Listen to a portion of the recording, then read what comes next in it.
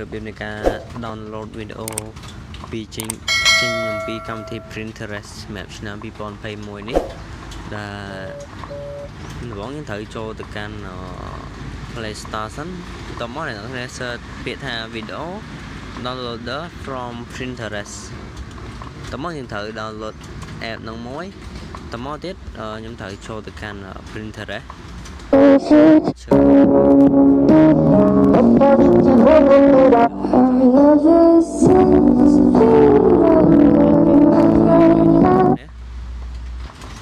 នាឃើញត្រេ3នៅខាងលើផ្នែកខាងស្ដាំនេះបងប្អូនចុចមកតមកអ្នកទាំងអស់គ្នាប្រើពាក្យថា copy link យើងធ្វើការចូលទៅកាន់ app ដែលយើងបាន download នេះ video downloader from Pinterest ដូចថាខ្ញុំបាន download ហើយអ្នកនេះអញ្ចឹងខ្ញុំធ្វើការចុចពាក្យ open តមក link ដែលយើងបាន copy មិញវានឹង load ចូលកន្លែងនេះបើសិនជាវាអត់ទាន់ load ចូលទេអ្នកនេះអ្នកគ្នាអាច delete យ៉ាងហ្នឹងមកអ្នកគ្នាចុចផាសមក link ហ្នឹងនឹងមកដល់កន្លែងក្នុងស៊ុំហ្នឹងហើយតមកអ្នកគ្នាចុចពាក្យថា download តមកចុចពាក្យ cancel វាមានពាណិជ្ជកម្មតិចអ្នក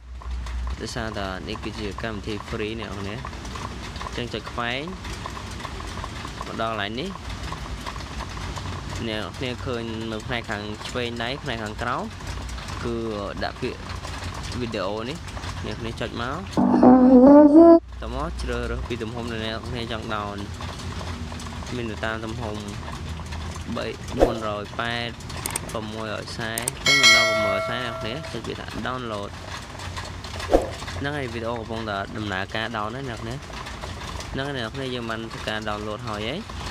តមកយើងធ្វើការចូលទៅខ្ញុំធ្វើការចូលអ្នកនរគ្នាមើលគឺចូលទៅកាន់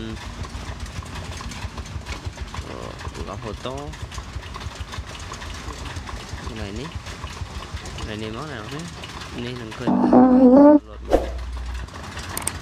ញ៉ាំទឹកម៉ោង12:29